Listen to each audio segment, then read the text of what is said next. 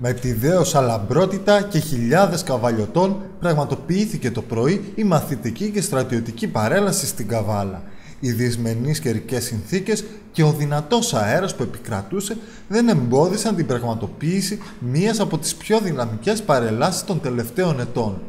Στην εξέδρα των επισήμων ήταν όλοι παρόντες, εκπρόσωποι της κυβέρνησης, οι πολιτικές αρχές της τοπικής αυτοδιοίκησης, συνεπικουρούμενες από τις θρησκευτικές και στρατιωτικές αρχές του τόπου. Την κυβέρνηση εκπροσώπησε επίσημα ο Υφυπουργός Εργασίας Νίκος Παναγιοτόπουλος, σχολιάζοντας μετά το πέρας της παρέλασης, πρώτη φορά στη ζωή μου χειροκροτώ τόσο, εμφανώς ικανοποιημένος από την παρέλαση που παρακολούθησε. Μην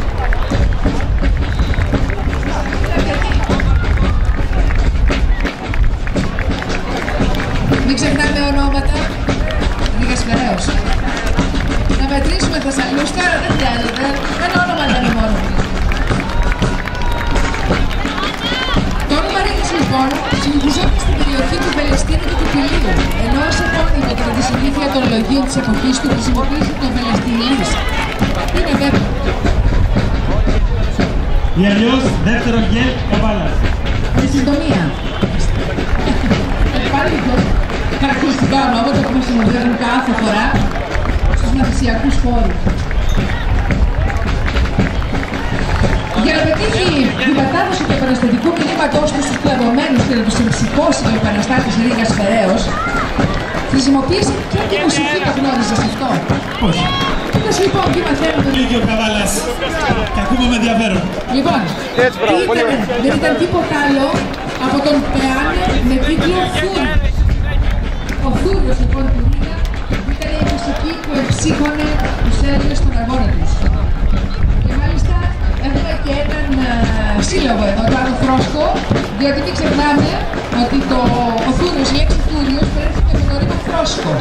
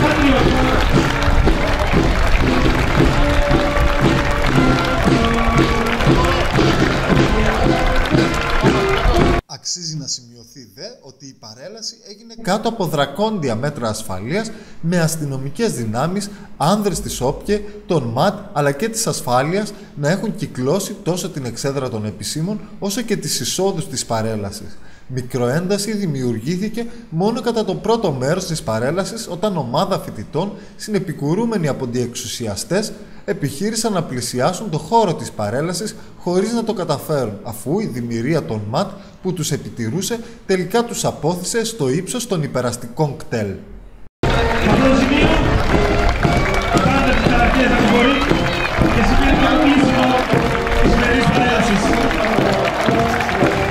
Σε αυτό το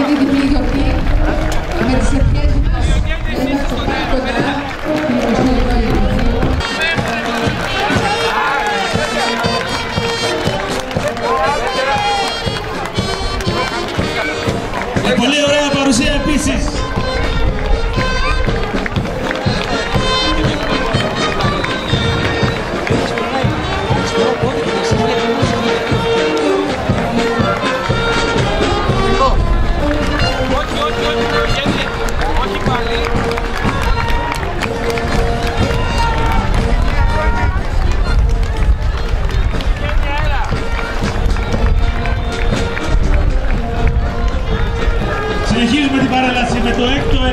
Ενιαίο λύκειο της Καβάλας. Τα σήμερα πρώτα απ' όλα θέλω να πω ότι έριξα το χειροκρότημα της ζωής μου. Μεγάλη παρέλαση, πολλοί κόσμος το ευχαριστήθηκε, ξεκίνησε με αέρα και αρκετό κρύο, τελείωσε με ήλιο. Αυτή εύχομαι να είναι και η έκβαση της περιπέτειας που περνάει η Ελλάδα και όχι μόνο η Ελλάδα. Και επειδή πάλι μέρες που είναι έχουν μπερδευτεί οι έννοιες του πατριώτη και του προδότη, του φίλου και του εχθρού, του σωτήρα και του δυνάστη, όλα αυτά δεδομένων των συνθήκων, νομίζω ότι πρέπει να ξεκαθαρίσουμε μέσα μας πάνω απ' όλα ποιο είναι το καθήκον μας ως, πολι... ως πολίτες ε, αυτής της χώρας. Εγώ καταλαβαίνω το καθήκον μας είναι να εκπληρώνουμε τις υποχρεώσεις μας απέναντι στην πατρίδα για να μπορούμε να απολαμβάνουμε και δικαιώματα. Αυτός είναι ο πραγματικός πατριωτισμός. Το 21 οι Έλληνες εκείνης της εποχής αισθάνθηκαν την υποχρέωση να θυσιαστούν ώστε οι επόμενες γενιές να απολαύσουν το δικαίωμα της ελευθερίας. Οι συνθήκες έχουν αλλάξει. Πάλι όμως είναι ζήτημα υποχρεώσεων και δικαιωμάτων και ισορροπιών μεταξύ υποχρεώσεων και δικαιωμάτων. Οι εποχές είναι δύσκολες, ο κόσμος περνάει δύσκολα. Πρέπει να ξεκαθαρίσουν αυτά τα πράγματα. Αυτό που είπε και κάποιος άλλος πολύ μεγαλύτερος από μένα, να μην ρωτάμε τι μπορεί να κάνει η πατρίδα για μας, αλλά τι μπορεί να κάνουμε εμείς για την πατρίδα. Άμα εκπληρώνουμε τις υποχρεώσεις μας, τότε θα, μπορέ... θα δούμε ότι θα μπορούμε να απολαμβάνουμε όλο και περισσότερα δικαιώματα. Είναι τόσο απλό. Χρόνια πολλά και τις θερμότερες ευχές μου για ένα καλύτερο αύριο σε όλη την Καβάλα, σε όλη την Ελλάδα. Με τους προγόνους μας οι οποίοι ξεκινώντας ξυπόλυτοι θα μπορούσα να πω χωρίς βοήθεια κανενός και πετύχανε να απελευθερώσουν αυτόν τον λαό, αυτό το έθνος. Ε, είναι η μέρα συγχρόνως και γιορτάζουμε και, την, και τον Ευαγγελισμό της Θεοτόκου. Διπλή γιορτή λοιπόν.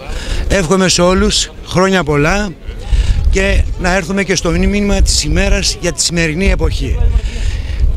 Ο ελληνικός λαός πάντα στα δύσκολα κατάφερε να ανταπεξέλθει σε όλες τις δυσκολίες του και να φτάσει αυτό το λαό σε ένα επίπεδο το οποίο ζηλεύουν πολλές χώρες, ευρωπαϊκές χώρες. Δυστυχώς σήμερα είμαστε, περνάμε μια κρίσιμη καμπή. Θέλω να πιστεύω με ότι σύμπνοια όλων, όλες οι πολιτικές δυνάμεις θα δείξουμε ότι δεν αρμόζει αυτό που περνάμε σήμερα και θα δώσουμε τον καλύτερό μας σε αυτό στο να ανταπεξέλθουμε και στο να βγάλουμε τη χώρα από αυτό που λέγεται οικονομική κρίση, οικονομική ύφεση. Θέλω να μεταδώσω ένα μικρό μήνυμα ελπίδας όπως οι πρόγονοί μας σε εκείνα τα δύσκολα χρόνια όπως προείπα χωρίς μεγάλες βοήθειες από τον έξω κόσμο με κάποιους μόνο φιλέλληνες τα καταφέρανε και μας βγάλανε, μας ελευθερώσανε έτσι και εμείς σήμερα με τη δύναμη του ελληνικού λαού και με την συμπαράσταση των πολιτικών η οποία νομίζω ότι όλοι οι πολιτικοί μας θέλουμε να βγούμε από αυτό το τέλμα θα τα καταφέρουμε. Το μήνυμα, το μήνυμα της ημέρας είναι ότι πρέπει να είμαστε αγωνιστικοί, μαχητικοί σαν τους προγόνους μας. Μας παρέδωσαν μια ελεύθερη Ελλάδα και πρέπει αυτή την πατρίδα να την αφήσουμε κληρονομιά στις επόμενες γενιές πιο πετυχημένη, πιο αναπτυγμένη και πιο ελεύθερη. Χρόνια πολλά σε όλους. Το μήνυμα της ημέρας είναι ότι ενωμένοι και αποφασισμένοι μπορούμε να πάμε μπροστά όπως μας έχουν διδάξει και οι πρόγονοί μας.